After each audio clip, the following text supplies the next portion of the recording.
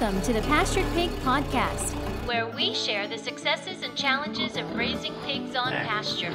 We talk to producers all over the country. From small homesteads to large commercial pasture operations.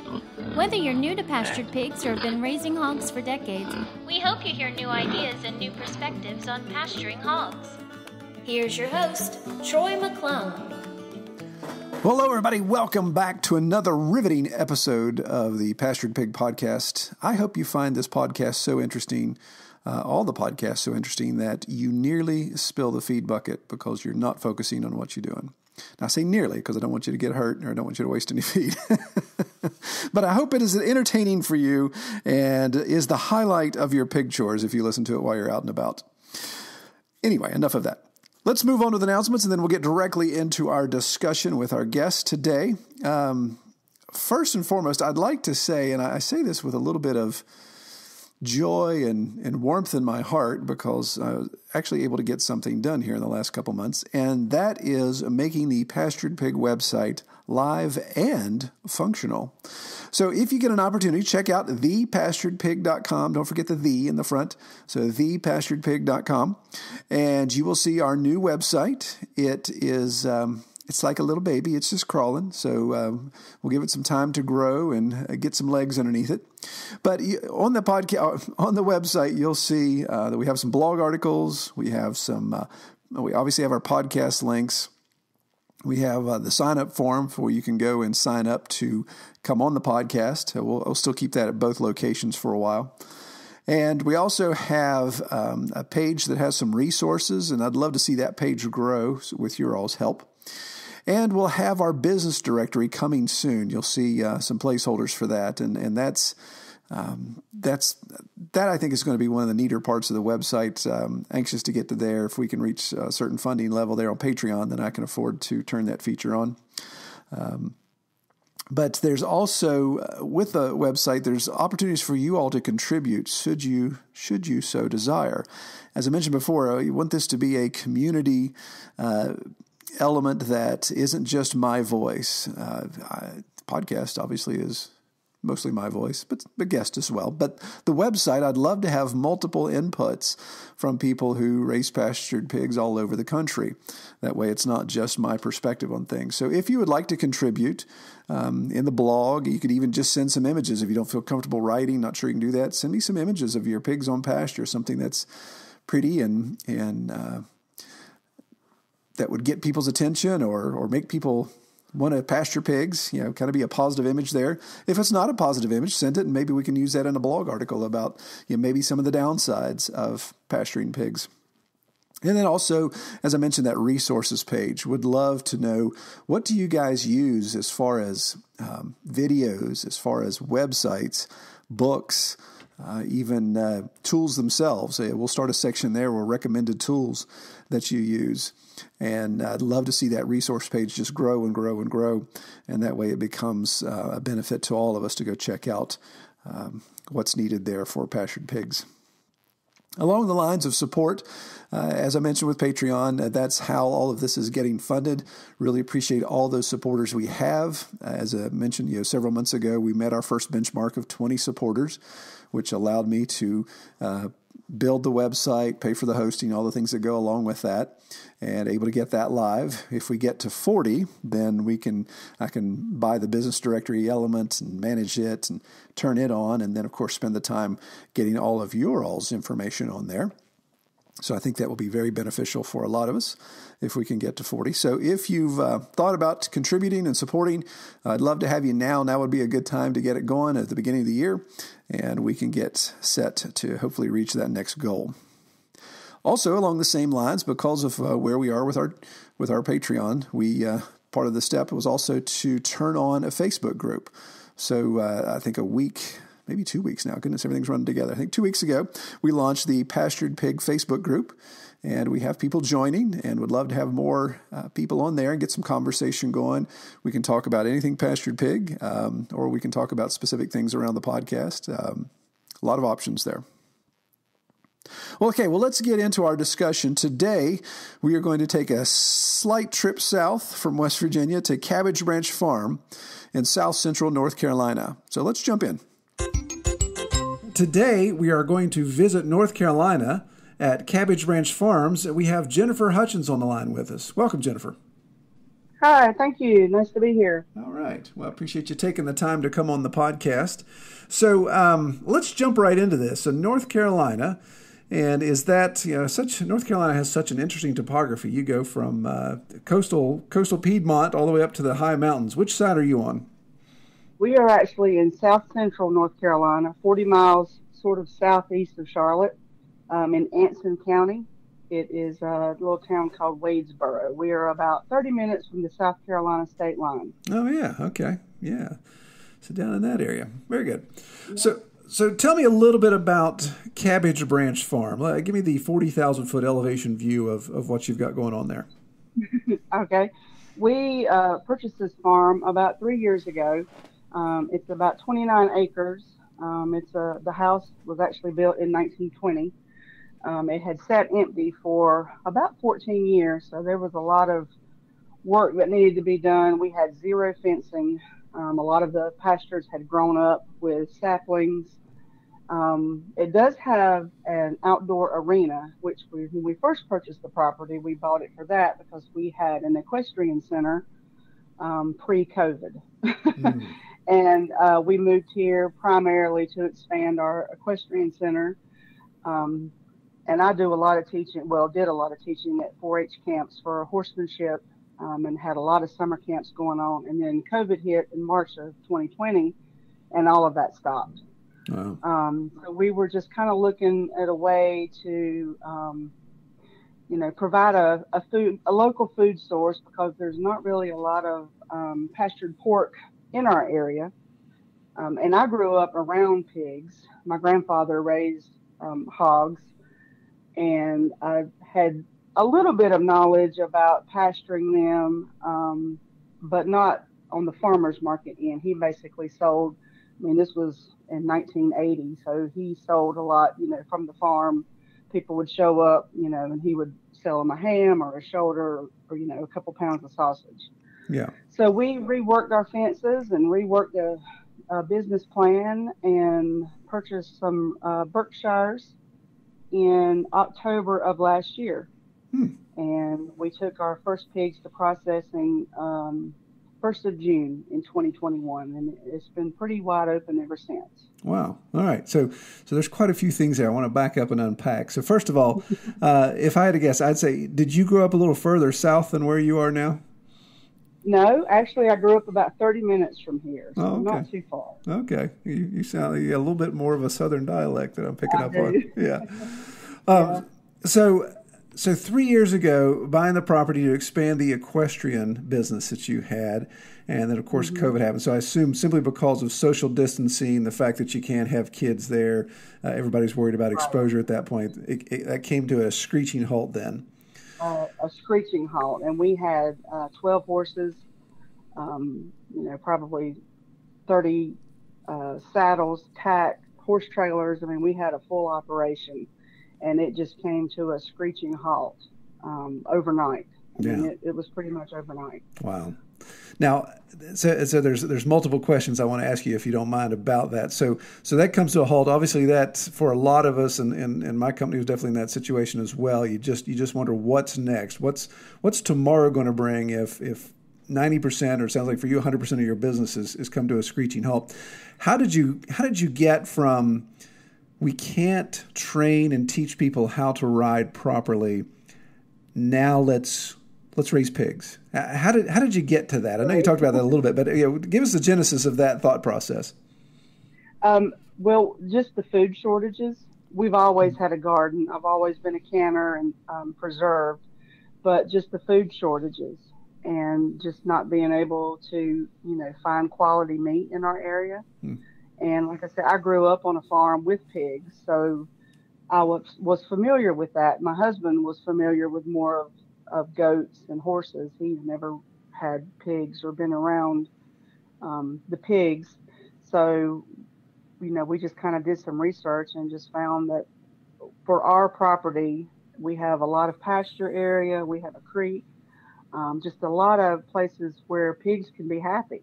Mm. Um, and we just decided that you know we would take that leap and offer that service you know to have a local food source for pork for quality pork not just something you can buy at a store. Excellent. Yeah. So we just kind of we went with the berkshires. We actually have berkshires and durocs now. So we have pure Berk, pure durocs and then also a mixture of, of the half Berk, half Duroc. Hmm. I like that. I like that mix. That's good. Yeah, I was looking on your Facebook page, and we'll uh, we'll post that information in the show notes so people can see it as well. But looking at some of your pictures okay. there, it looks like you've thrown some pretty good litters here recently. We've had we've got one more sow we're waiting to farrow, and she is just not wanting to.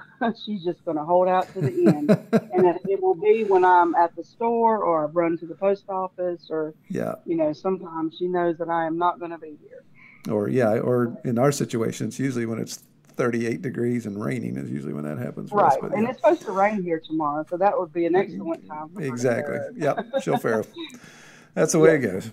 So, uh, yep. so with with what we're talking about, so you transition from equestrian into the pastured pigs let's first talk about infrastructure. So, how much change did you have to make in uh, infrastructure on the farm? Was that a was that a huge investment? Were you guys creative in how you utilized what you had? Uh, did you divest of a lot of? I mean, were there were the, was the was the farm full of horses and horse equipment and is no longer, or do you still have a lot of horses hanging out? How, how does that work out? Well, um, I did sell some of our horses, but I've also leased some to other centers oh, that wow. are closer to Charlotte. Yeah. Um, that have rebounded a lot faster than we would have. We're just in a rural area. Um, they're closer to Charlotte, and once the restrictions lifted, they had a little bit more flexibility than we had. Um, but as far as the infrastructure, the pasturing was a lot simpler for mm. pigs. Mm-hmm. Um, they love the woods, so we, you know, we we're very creative and very resourceful with we did a lot of the cutting of the trees ourselves. We took the lumber to a local sawmill to have milled into lumber for us to build farrowing sheds hmm. um, and repair what we had here. So years ago, I've been told, probably 50 or 60 years ago, the gentleman that owned this property also had pigs. Hmm. So um, we've kind of, you know, taken the property back to where it began at one point, but um, as far as the the fencing, we we had a lot of stuff already when we moved. We we had 12 acres and we took everything. We had fence posts because the people who bought our previous property um, were not into horses, so mm-hmm. we were we took it with us. We had panels and we had um, T posts, you know, a lot of wire, and so we brought that with us. And we've just kind of been resourceful. We find a lot of things at auctions. Um, you know, we'll go to an auction and there'll be a pile of T posts, 150 T posts for, you know, however much the bid goes for. So we just kind of, you know, we don't really don't buy anything brand new unless we absolutely have to. Sure. Excellent. Well, good. Well, it sounds like that was a, a good adjustment. It sounds like you, in, in looking at the pre screen information you sent me and what I've seen on the Facebook page, sounds like you really kind of hit the ground running. Now, I assume it, is it safe to assume? Let's let's put it that way. Is it safe to assume there was a, a, certain sense of sense of urgency in getting the pastured pig operation up to producing some revenue simply because of the revenue loss with the equestrian business? A little. My husband is a full time truck driver, and I, I'm pretty much on the farm all the time. Um, and we have two children. They're both teenagers, so they they can pitch in and help. But there was a little bit of urgency just because um, we went we just stopped in our tracks Mm. Um, you know, we just absolutely went from, you know, going wide open to nothing, to no income on my end. So there was a little bit of urgency, but I didn't want to rush it to, to where I wasn't producing a quality product. Um, it just kind of has all worked out um, as far as, you know, getting a processing appointment, you know, finding quality feeder pigs to start with. It just kind of all worked out. Plus, we had you know, we had a trailer, a truck, fencing supplies, and we just had just kind of shifted gears per mm-hmm. se. So yeah, very good. So why did you land on the Berkshire Duroc cross? Was that a was that just kind of what you're drawn to from what you'd read? Did you have from familiar with it in your in your past? That's what you liked when you were when your grandfather was raising pigs, or is that just what you had feeders available? Well, I, I, he always had Duroc, so mm. i have always been around Duroc, and I've never really been around a Berkshire. Um, I had the opportunity to to go look at some feeder pigs, and I had done my research and just you know read about the the feet uh, fat to meat ratio and the marbling, and I was just really intrigued and just started out with that, um, and got a Berkshire sow um, from a farm in South Carolina. So, and he's actually done very well for us so far. So, yeah, very good. Um, yeah. So, so what do you have right now? You, it sounds like you've got a, at least a multiple, uh, multiple sows, uh, multiple breeding sets. What, what do you have as far as the line of your, your genetics go? We have currently we have four breeding sows, one um, boar. We have four younger breeding sows that have just been weaned. We purchased them probably a month ago, and then we have about five feeders now that are going to be ready March or April. So they've just been weaned. Plus, we have our additional litters that were just born this past week. So a lot of them have been spoken for, and some of them, you know, will just remain feeders here for later in the year. Yeah. So next year. So am I doing my math right? So that's eight eight sows you have. You have the younger ones, and you have the ones that are more established. Yes. Yeah, mm-hmm. and yes. and being serviced by the one boar. Right. Yeah. And you said the we would like to add another boar, um, maybe on you know further down the road, maybe in the spring. Yeah, I'll say, come to West Virginia. I've got two you can have. we might. yeah, yeah. I've got two, too, too many. All right. Uh, so, so wait, that's that's so that's that has a pretty good that has a pretty good turn pretty quickly. So it sounds like um, X amount feeders, X amount selling um, uh, uh, for people to to raise themselves. Do you have a percentage in mind you're trying to do, or just kind of seeing what the market will bear right now? Um, for the feeders or for selling? Uh, for both, yeah. What's the ratio you're looking to do there to grow out your own uh, growers? I guess. Oh, yeah.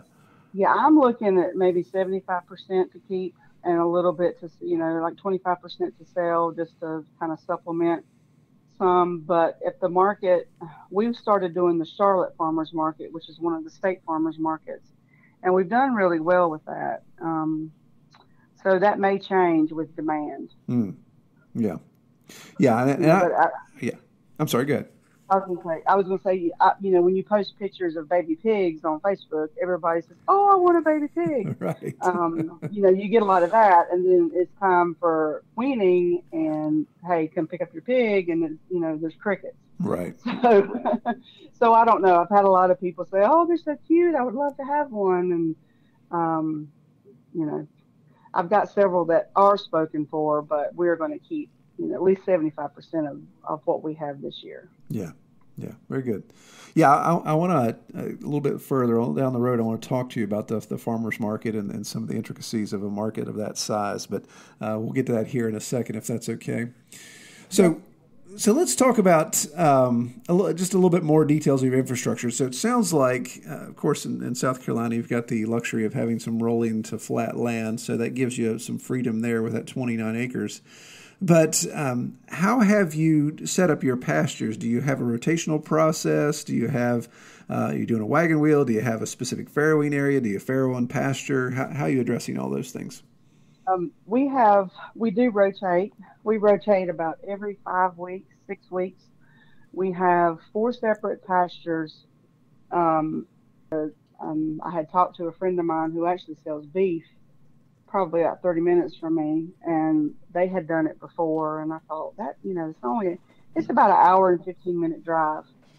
Um, it, it is definitely busy. I mean, it's one of the, like I said, one of the state farmers markets, mm-hmm. and it is, it starts at eight o'clock in the morning, and it probably does not slow down till one in the afternoon. I mean, mm-hmm. it is just constant people but we do cuts. I haven't done the, the wholes or halves yet. I've had a few inquiries about that, and we may reach out and do that next year if the processor appointments, you know, will allow that. Things yeah. are kind of tight with with the processor having enough staff to do. You know, they put a lot of products on hold, like you know, some of the smoked things, right. bone broth, etc. So. Yeah.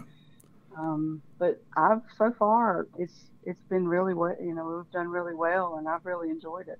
Huh.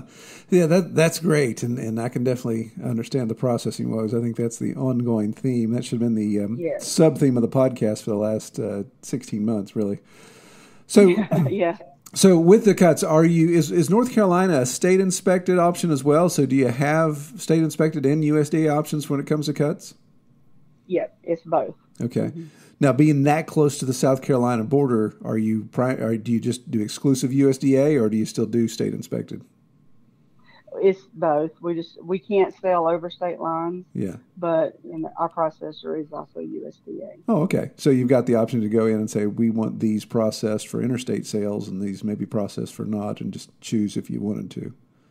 Yeah, we could. I don't know. I, the meat handler's license. I'm not sure how. I haven't really looked into over the um, over state line sales. I've had a few people ask about shipping it, but Oh, um, yeah. I've, I've looked into the cost of that and having to store dry ice and get these styrofoam coolers, and I just don't know that that's something that I want to deal with right now. Right. Yeah. That's interesting. One of these days, we're going to have to get somebody on here that's doing a lot of shipping. It, it seems to be just an evolution of, of pastured uh, uh, pastured pork and, and quite a few other things, but it just Right.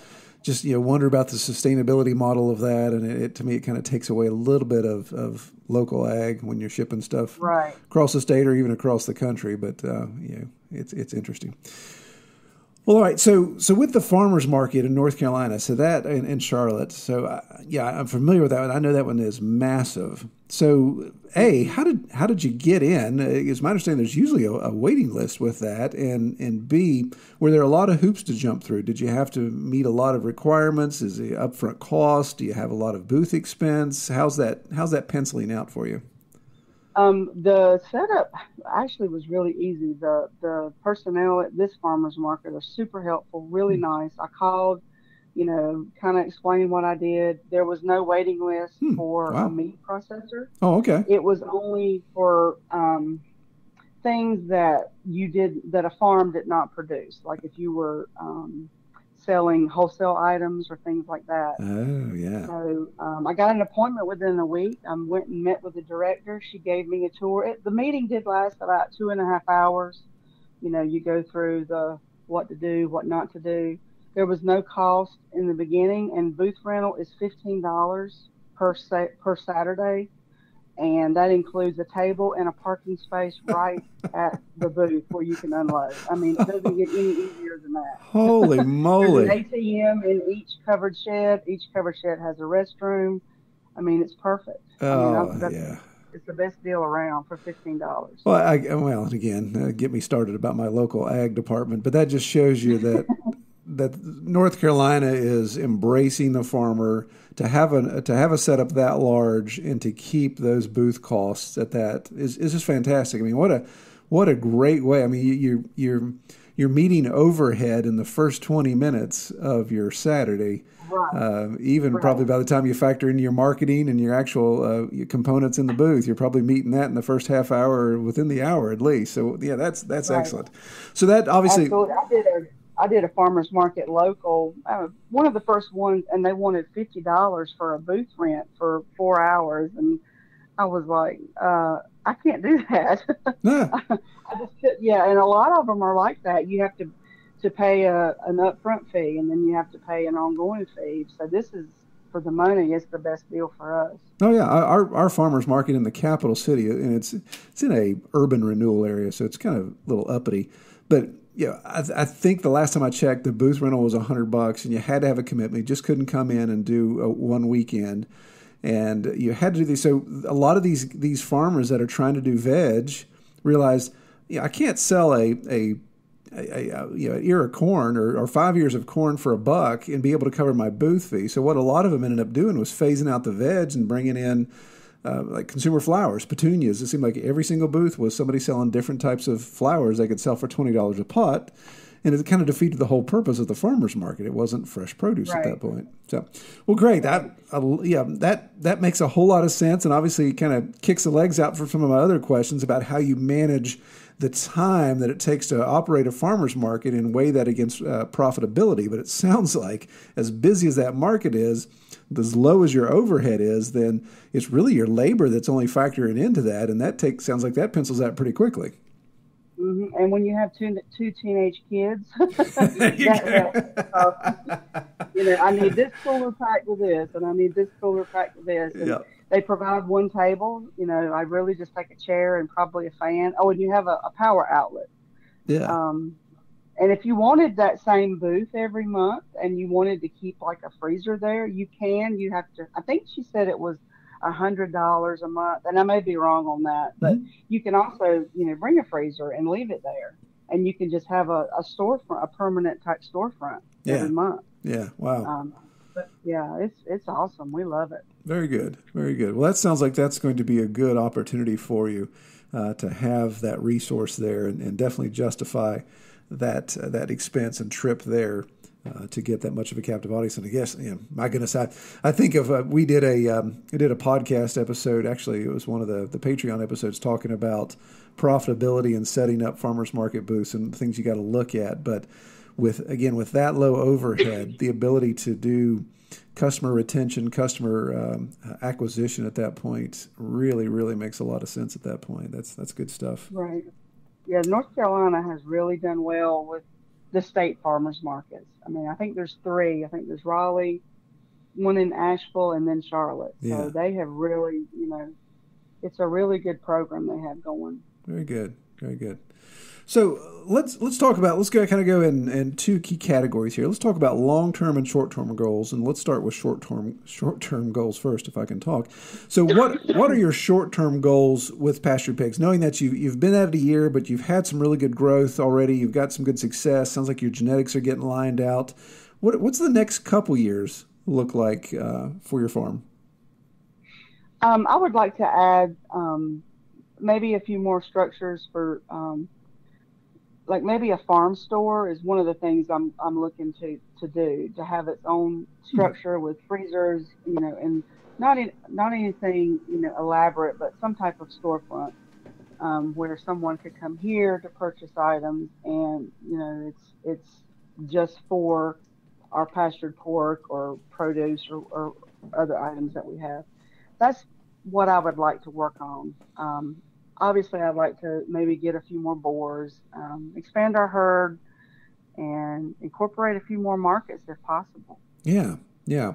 So, do you see in that in, in that growth, or first of all, let's talk about that farm store. So, I assume your farm location has a, a, a decent community element around it. There's some decent traffic where where um, farm visits make sense. It is. We are in the country. We're, you know, we are. We don't even have a Walmart in our county, so we we are we're out there. But we do have Charlotte close by, yeah. and you know, a lot of people like to spend the day and come out and see where their food comes from, see how these pigs live. Um, you know, see that they're out eating acorns and roots and grubs and you know, they can walk around a 15 acre pasture and do what they want. Yeah. You know, they can get muddy and, you know, they're just living that good old pig life. So, um, we do have that option now. Is it close by? We do have a lot of people that are close, but I'm banking on, you know, Charlotte and surrounding areas mm-hmm. to come for probably our farm store. Yeah, and that would be an interesting experiment as as a marketing data guy. That the data always fascinates me. That'd be an interesting experiment in the next. Let's say you get your retail store up and running there on the farm, and, and just penciling out how profitability works out between that and the farmers market. Now, granted, the farmers market is probably going to gross a whole lot more, but the freedoms right. that you get on having the on farm store, uh, just how that works out. It would be neat to see that comparison over time. Right. So so what about um, what about long term goals? What uh, well actually. Yeah, let me, let me go back to the short term goals. So uh, there was a question just kept coming back in my head here. I wanted to ask you: Do you see, uh, do you ever see equestrian business coming back to your farm at some point, or is that kind of a chapter you've you've closed permanently? Um, I think since we have the arena, I think we're open to you know hosting some events, livestock shows, maybe some sow um, hmm. or pig shows. Yeah, very good. Sales, maybe 4-H clubs. Um, I'm I'm not sure. I, I would be open to some, but I, honestly, I really love and enjoy the the pork end of this and dealing with the you know the farmers markets and you know making a product the quality product that tastes good, and people will call and say, "Man, that is the best bacon I have ever had." Yeah. You know, I've got to have some more. Yeah, that's great. Um, you know, I, I just I just enjoy that. I enjoy um, not that I didn't the equestrian end, but it just you know life changed and we've kind of adapted and overcome, and you know we're just going to keep doing this, and maybe we'll go back to it yeah. eventually. But right now, I think it's it's just going to be the pigs. Yeah, yeah, yeah. I have to. I have to be careful. I want to be sensitive to your to your hobby. I I, I have a general disdain for horses. We always we always called them hay, burn, hay burners up here, but Yes. oh yes, there's a lot of expense there, Right. and there's you know a lot of very little profit. right, right. But they're they are the majestic animal. My goodness, there's nothing prettier than a horse farm. It seems like. I think maybe that's what it is in West Virginia. When you go to Kentucky over in the bluegrass state and you see these big horse farms, uh, you just think, well, that's that's kind of uppity. I just I just no way I could compete with that. Yeah, every time I drive by one, I'm thinking there is no way these people are making money. right, exactly. That's what I think because Yeah. I've been there, and I'm like, there ain't no way these people are making a profit. Right. Yeah. Just the board fence alone kills me. I'm like, oh my goodness, how much Yeah. lumber is in that? Very good. Right. Well, uh, well, what about long term? And this this is a little bit harder question. So we talked about the the on farm store. We talked about maybe some expanded locations in the next several years. But what about five to seven years down the road? Do you see this growing to to just keep growing and growing and growing, or do you do you have a potential ceiling? We say, okay, this is where I'd like to to stop and just really do this well, or have you put that much uh, thought into it yet? Um, I would like to see it. I don't want to get too big, and I don't want to get to the point where I'm I'm feeling frantic or hectic.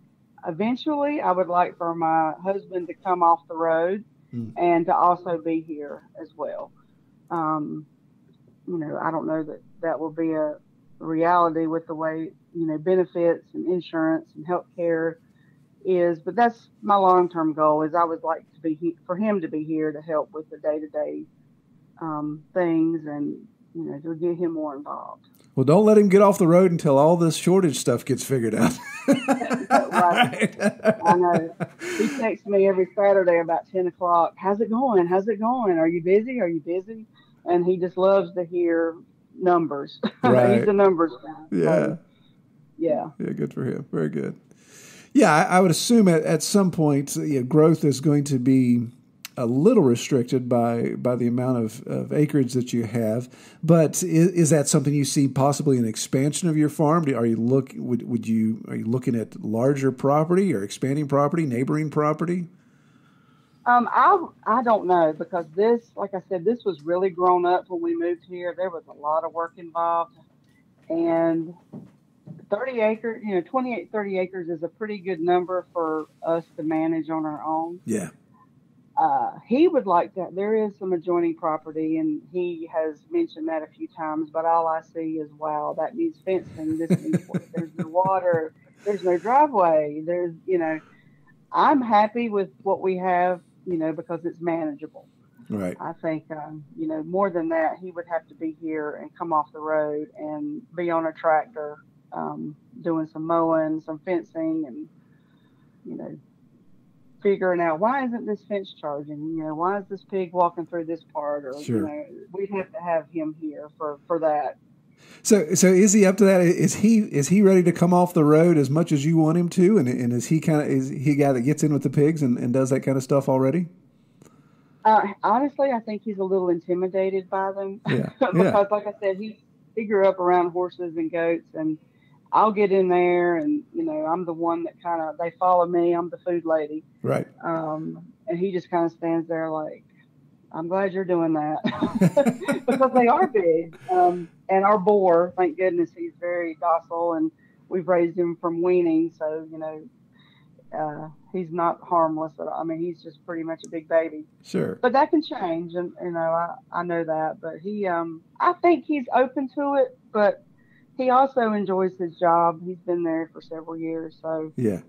i don't know we'll see Well, I think he would appreciate. I'm sure he's been stepped on by a horse, and being stepped on by a pig doesn't hurt as much, at least in my experience, as getting stepped on by a No. horse. But it doesn't and it's and you know they're knee high so or waist high so it's when you have a horse and they're over your head, that's a little bit more intimidating. Exactly, exactly. Well, great. Well, before I ask you the closing question, I ask everybody, I have to ask you an additional closing question because you'll have some uh, yeah, specific, unique insight into this. So, who has a better personality, a pig or a horse? Oh, my goodness. That is a good question. I'm going to have to say, you know, and I've had I taught riding lessons for 25 years, and I'm going to have to say a pig. Ah, I knew it! I knew it! I knew I, I knew it! I am going to have because these pigs, I'm telling you, and my husband might think I'm crazy. They know their name, they know my schedule, they know what I'm doing, they know what's in my hand. I mean, they they're pretty smart, and yeah. they, each one is different and horses are too. But like I think the pig has more personality. Yeah, see, I think, and that's that's the dirty little lie I think about horses. It's just all about the marketing.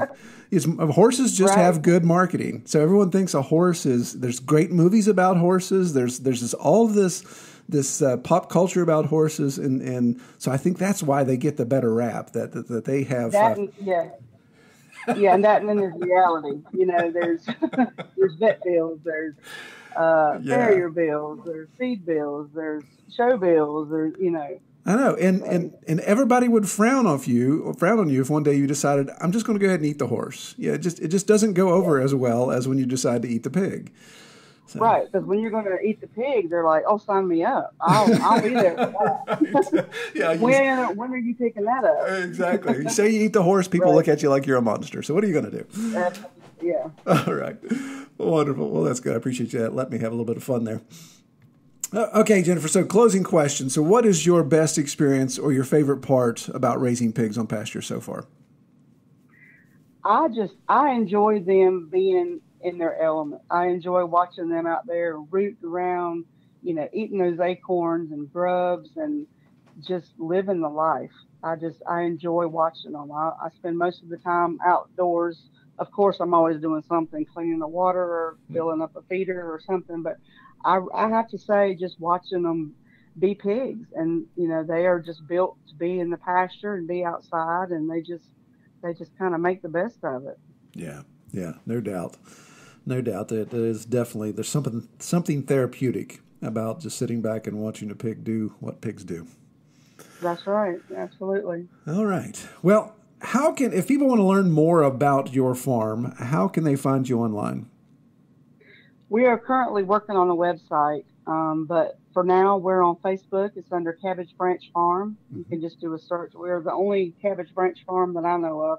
We're actually named a creek that uh, runs through our property is called Cabbage Branch. Oh, okay. So that's how we came up with the name. So gotcha. um, just search Cabbage Branch Farm. Um, and like I said, a website is coming, but I'm slow at getting all that together, and I am pretty much I'm an uh, 80s child, so I don't know a lot about how to do this, that, and the other. So yeah. um, it's coming. I understand. I understand. Yeah, I'm looking at your Facebook page now. You've got a lot of great, great pictures of your pigs on pasture there. Some some really good imagery. So, y'all listen. Be sure to check that out and see what she has going on there. Well, Jennifer, I really appreciate you taking the time to come on the podcast. It was a pleasure speaking with you today. Absolutely. Thank you for having me. All right. You have a great week. Take care. Well, I really appreciate Jennifer taking the time to come on the podcast. Be sure to check out the information to her farm down in the show description. And also be sure to check out the website, check out the Facebook page, check out all kinds of stuff. Uh, we'll have uh, links down in the show description. Well, I appreciate everybody listening. I pray you have a great week out in the pasture. Take care. We hope you have enjoyed this episode of the Pastured Pig Podcast.